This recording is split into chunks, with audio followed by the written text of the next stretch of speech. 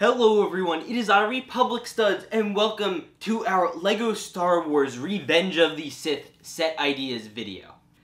Now, I took the time to sit through the Revenge of the Sith movie, and I tried to look for all the different things that LEGO has not made, and luckily, LEGO has made a lot. Revenge of the Sith is certainly one of the more made Lego Star Wars sets out of all the movies. Like, they make a lot of these sets. And it was a little difficult to find them. But luckily, uh, my friend BrickWizard59 has made a load of these sets. Like, the, all the ideas were my own, and they just kind of looked them up, and they all happen to be from him. So, a lot of the pictures you're going to see, see here are from him, as well as many other creators. I credit them all. None of them are mine.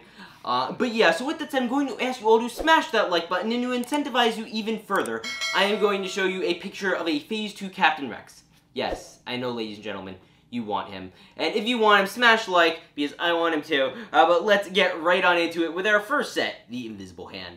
Now, I have this one at around $169.99. You know, I cannot believe LEGO has not made this. They are not huge on making separatist ships in general. They're good with their, like, land fighters and tanks. Um, but they're not very good with, you know, capital ships. Uh, they haven't made a single separatist capital ship other than the Malevolence, uh, which was a great set, by the way. So this would come with Anakin Skywalker, Obi-Wan Kenobi, Count Dooku, Emperor Palpatine, or, you know, in his weird prison garb, this came out before, General Grievous, and I figured, you know, maybe we do a Magna droid or two, and, you know, even two security droids could work. You know, this model I see here uh, is a great model. I really like this one. Uh, you know, I think, you know, if you kind of fit a little bit inside, I wouldn't put the lightsaber fight room, but I would put the command room uh, where General Grievous is. You know, maybe you'd arm the droids, and maybe you'd put a little hangar bay. It's very difficult, you know, with that sized model, you can't really do that much with it. You could probably have the room um, where Palpatine was being kept prisoner, but, you know, whatever. Uh, but next up, this is Dooku versus Anakin battle. Uh, so, you know, this would be, instead of, like, the regular $20 duel sets, I'd include Obi-Wan and make it a little larger. Uh, you know, and this would kind of have that staircase look. Like, I don't know, I'll show a picture of the MOC I see uh, that, that we're using for this. Uh, it's like the staircase build almost, and you know, you'd have that, you'd have the little door, you'd probably have some like shoot throwing features for all of them. Uh, you know, it would be a $30 build, just it would be nice. You'd get Dooku, Anakin Skywalker, and Obi-Wan Kenobi. I just think that would be perfect. I cannot believe we haven't really gotten that, because that's a pretty fun set. You know, maybe we even will feature Behead Count Dooku. Um, but next up at $89.99, we have the UT-AT.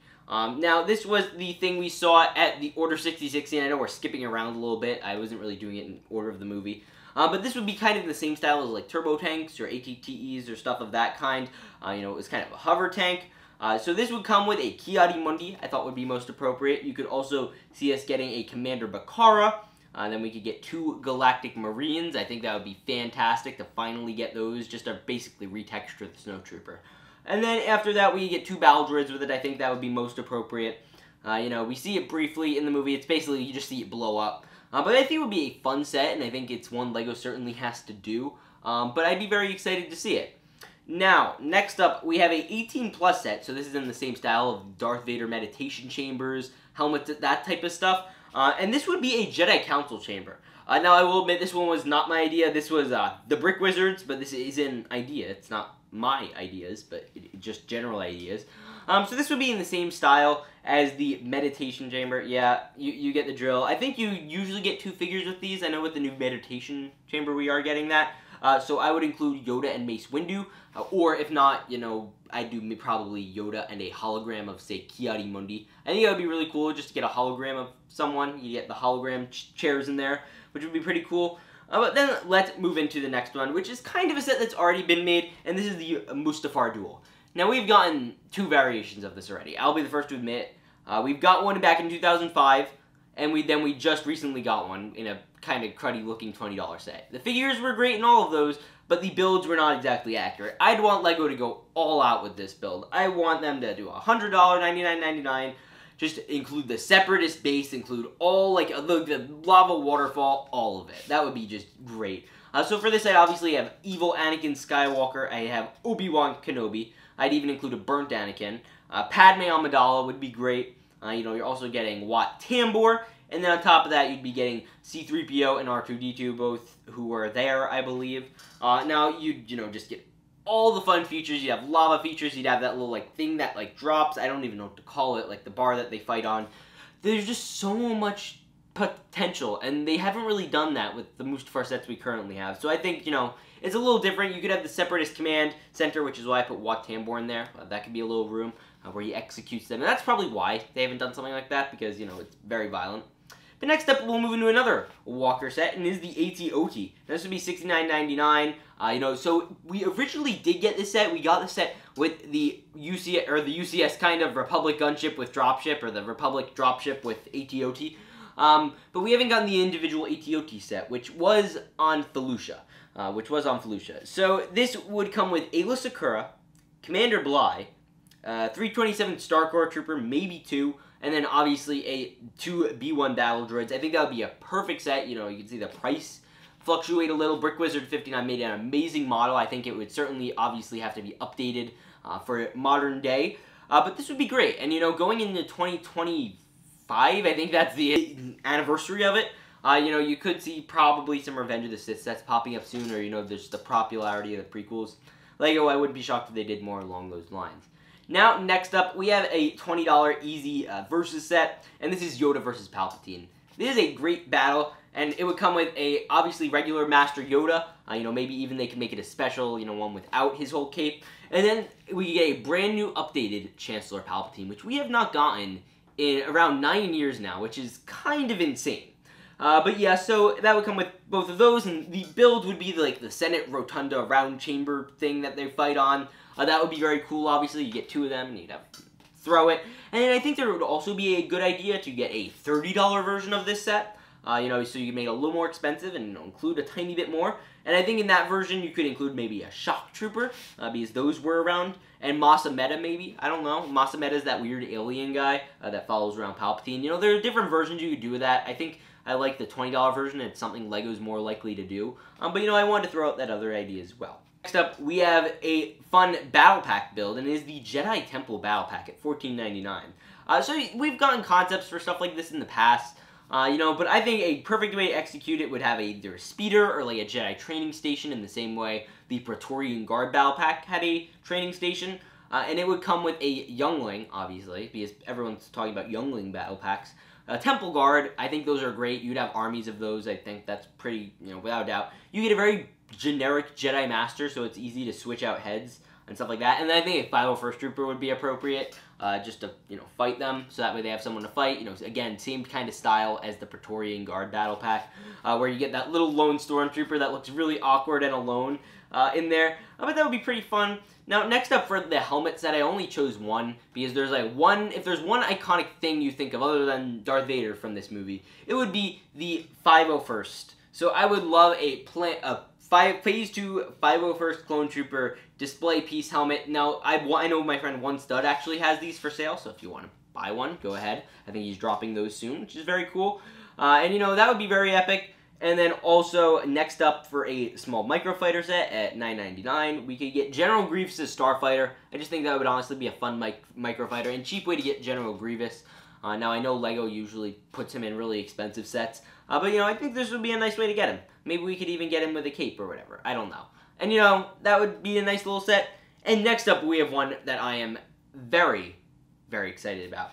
Now, this would be a Master Builder Series Jedi Temple. So I've referenced this series pretty much every time in this list. You know, there's so many different things you could do. I love to see, I, I just love this concept. I love the Cantina. I love the Bespin set. I love all of those, and I want to see them do more.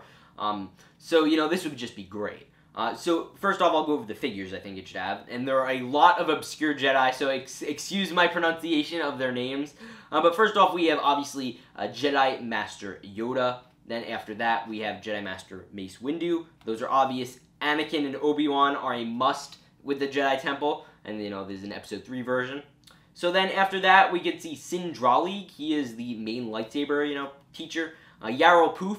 He'd be a fun one. I like the guy. He like looks like a Kaminoan. You know, everyone loves Yarael Poof. He, he's the guy who dropped the ladle in the Star Wars spoof things. Uh, the I don't even know the detours, something like that. And then after that, we have Depa Billaba. That's Kanan Jarrus's master. You'd see Opal Rancis. You'd use like a, one of the little squid things. I don't know. He'd be cool to see. Uh, Yaddle obviously is a must. I know a lot of people want Yaddle. Uh, we get Ki-Adi Mundi, which would be great. And then we have Kajak. I don't know how to pronounce this dude's name. He didn't get much screen time, but he's like a weird alien looking dude. Uh, Zett Jukassa, that's George Lucas' son who plays the little Jedi that got killed in front of Bail Organa. Saesee Tiin, he would be pretty epic. I'd like to see him. He was we haven't seen him in a while. Shaak Ti obviously would be great. Plo Koon, Jocasta Nu, two Temple Guards, and maybe you put in two or three 501st Troopers. I don't know. I think the two Temple Guards would be great. Uh, now that sounds like a lot, and it's a lot of custom figures, but they did do that for the Cantina. Uh, and, you know, obviously it would be awesome to see here. You get all the different alien varieties. You'd nail all the Jedi LEGO haven't done yet, which would be great. And, you know, you bring back some classics that haven't appeared for a while. And then in terms of the interior, it could there's so much room for potential. You could have the Jedi Library in there. You could have the Council Chambers. Uh, you could have a meditation chamber for them all to chill in. You could have the Jedi Council War Room. There's just so many different rooms you could have in the Jedi Temple. It's kind of limitless. Um, but it would be very exciting nonetheless. You have little stairs at the front. I could even see this being a UCS set with like two figures. It come with like Yoda and Yaddle.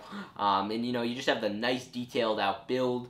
And then finally, for our last set, uh, it is at $599.99, a UCS Republic Venator. Now, I'd imagine this would be cheaper than the Star Destroyer, namely because it is a smaller build, and I think they'd probably do it a tiny bit smaller than the Star Destroyer. It just doesn't take up as much space, generally speaking, no matter how they really went about it, unless they made it, like, freaking insane. Um, and, you know, this would come with, you know, two figures. It would come with Admiral Yularen, who technically was at the Battle of Coruscant. Uh, you know, we know that. And then also maybe a plain phase 2 clone with some arm printing. I know they like to do, like, the highly detailed, boring figures uh, for these types of sets, like with the gunship they're putting in Mace Windu or, you know, regular clone captain. I don't like to, you know, make it too unrealistic. I like to think, you know, something LEGO would do. You know, it would probably come with Anakin, maybe clone. I really don't know. Uh, but if you really wanted to hype it up, you'd say, yes, you get like 12 clones and like all that. I just didn't want to do that because that's very unrealistic. But yeah, guys, I hope you all enjoyed. Now, this is my first time recording with my brand new setup, so I hope it turned out pretty well. I'm very excited to edit my first like fully recorded video with this setup. I have like brand new lights. It looks absolutely great. I am so excited. But with that said, I'm going to ask you all to smash that like button and that subscribe button and all that. I will see you all in the next one. Remember to peace out and stay awesome.